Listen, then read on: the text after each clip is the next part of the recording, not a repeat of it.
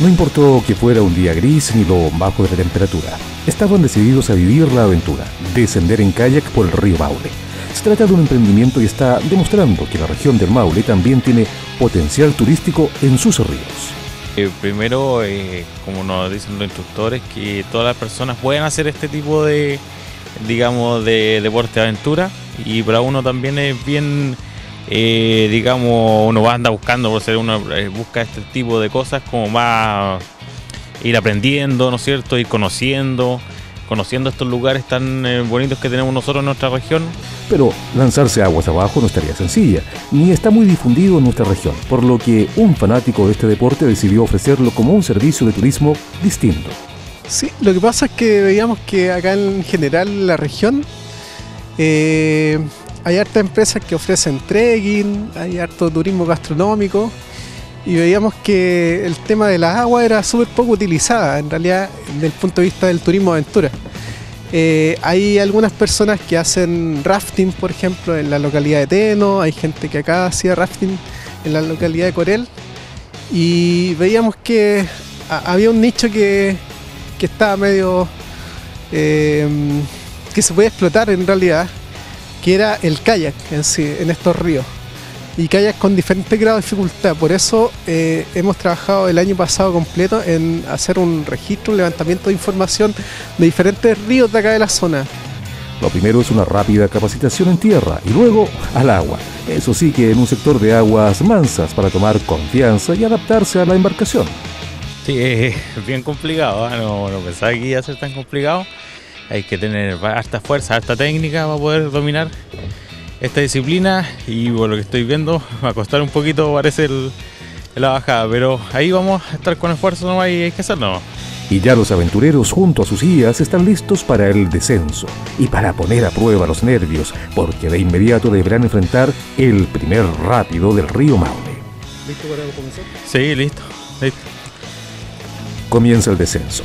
Rápidamente una pequeña caravana de cuatro botes multicolores remontan las poderosas aguas del río. Es que los guías van señalándole con el ejemplo cómo deben tomar cada tramo que avanzan y de paso están atentos a cualquier emergencia. La bajada es más rápido de lo que imaginamos, por lo que esta orilla el vehículo de apoyo a los navegantes y nosotros debemos apurar la marcha para no perderlos de vista. Transcurren unos 15 minutos y nuevamente los avistamos. Hasta el momento, la aventura va bien. ¿Cómo van? Ya han transcurrido alrededor de 25 minutos y estamos al poniente del puente Maule. Y nuestros amigos han completado la primera bajada del día. Sí, bueno, un poco cansado. Eh, al principio hay que decirlo, igual daba un poquito de, de temor, pero después ya se pasa, se relaja uno con lo que explican los guías, todas las técnicas, es lo más importante y seguir nomás lo que uno le va diciendo los guías. Pero súper bien, súper bonita experiencia. Increíble, nunca imaginé que iba a ser tan, tan entretenido, la adrenalina que se siente, súper rica la, la sensación. ¿Un momento cuando pasaste por los rápidos? Sí, a veces había momentos donde pensaba que me podía dar vuelta, pero al final se podía controlar y era agradable la sensación, súper rico. ¿Lo recomiendas?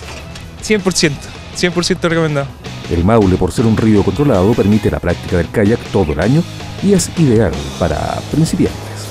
Justamente, como ven hoy día, eh, igual hace frío, pero con los trajes de neopren que tenemos nos ayudan a mantener la, temperatura del puerto. Y el agua, la temperatura está bastante agradable todavía en realidad. En invierno baja un poquito, pero con estos trajes uno anda bastante bien en realidad. Ahora si usted también quiere vivir la aventura, Mario nos cuenta de su servicio. Eh, depende de la cantidad de gente en realidad. Eh, por ejemplo, si vienen 5 personas, vale 23 mil pesos por persona, que son dos lanzamientos. Eh, desde el cual nosotros ponemos el transporte desde Talca, hacemos el, el guiado acá y lo regresamos a Talca. Si son menos personas, sube un poco más. En realidad va, subiendo, depende del número de personas. Con un mínimo de 12. Son las ideas innovadoras para hacer del Maule un destino turístico y no solamente centrado en la gastronomía o paisajes campesinos, sino que también para los aventureros, esos que hacen de la adrenalina un deleite.